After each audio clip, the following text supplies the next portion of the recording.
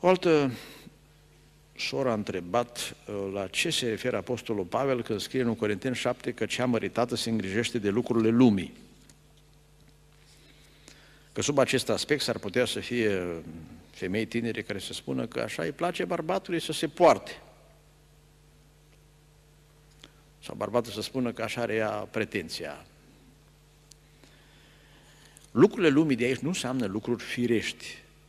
Nu se referă la ce zice 1 Ioan capitolul 2, nu iubiți lumea, nici lucrurile din lume. Lucrurile lumii de aici se referă concret la, pentru bărbați, Efeseni 5, versetul 28. Bărbații trebuie să-și iubească nevestele ca pe trupurile lor. Și asta înseamnă să le îngrijească.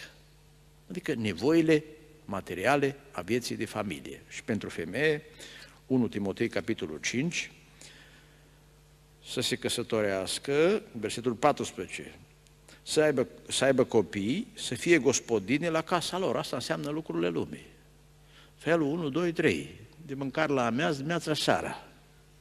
Și pentru bărbat înseamnă bani adus, gospodărie, casă, zugrăvit și tot ce trebuie. Astea sunt lucrurile lumii și slujești cu piedici, că dacă ai copii nu mai poți mergi la repetiții, trebuie să te lași de cor sau alte activități aferente vieții de familie.